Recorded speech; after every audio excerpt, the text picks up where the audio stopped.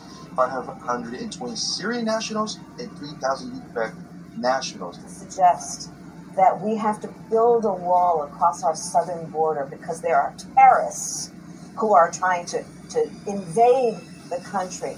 It couldn't be farther from the truth.